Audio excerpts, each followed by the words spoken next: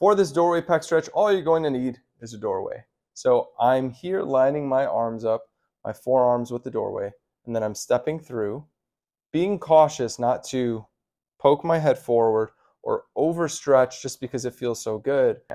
Now, if you push too hard, sometimes what it does is it tends to exacerbate your pain.